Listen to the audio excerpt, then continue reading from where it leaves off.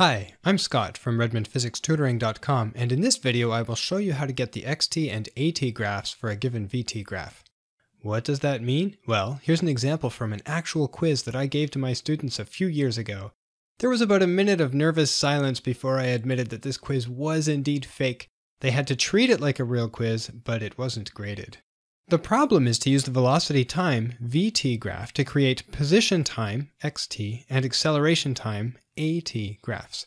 This is much easier when the graphs are laid out on top of each other with a grid. If you're struggling with these problems, you should really practice using graph paper to make it easier. The problem tells me that x equals 3 when t equals 0, so I can plot that right away.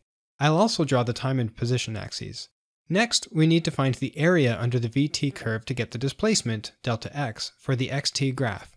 Remember to go from vt to xt or from at to vt, we need to find the area. When you're starting, just do one second at a time. For the first second, the area between the time axis and the curve works out to this rectangle with a base of 1 second, a height of 2 meters per second, and an area of 2 meters. 1 second times 2 meters per second equals 2 meters.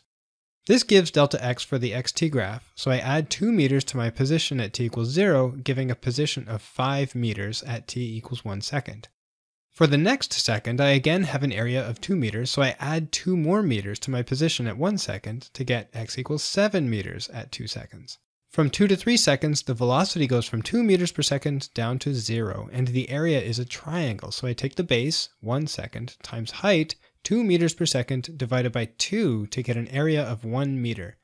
Adding 1 meter to my position at 2 seconds gives 8 meters at 3 seconds. Notice that each time the displacement is added to the previous position. From 3 to 4 seconds, the velocity drops below 0. The base is again 1 second, but this time the height is negative 2 meters per second. Multiply those together and divide by 2 because it's a triangle, and you'll get a displacement of negative 1 meter. Adding negative 1 to 8 meters gives x equals 7 meters at 4 seconds. This area is negative because it's below the time axis. When you get the hang of it, you can take a bigger area. Going from 4 to 6 seconds gives a base of 2 seconds and a height of negative 2 meters per second for an area of negative 4 meters. Adding negative 4 meters to 7 meters gives x equals 3 meters at 6 seconds. From 6 to 8 seconds, there's another triangle with a base of 2 seconds and a height of negative 2 meters per second for an area, base times height divided by 2, of negative 2 meters. Adding negative 2 meters to 3 meters gives x equals 1 meter at t equals 8 seconds.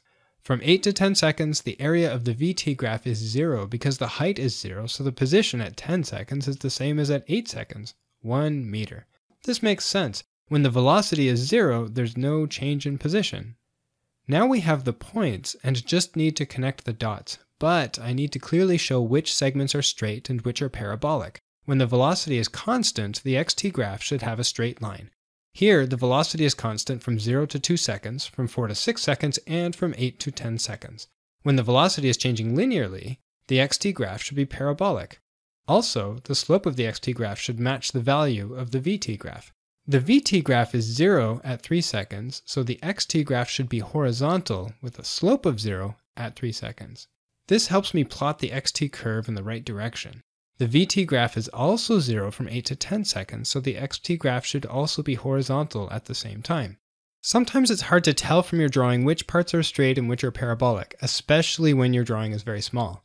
To get the most marks on your quiz, you can label them like this. The second part of this problem is to find the AT graph. The slope of the VT graph gives the value of the AT graph, so this is much faster to solve.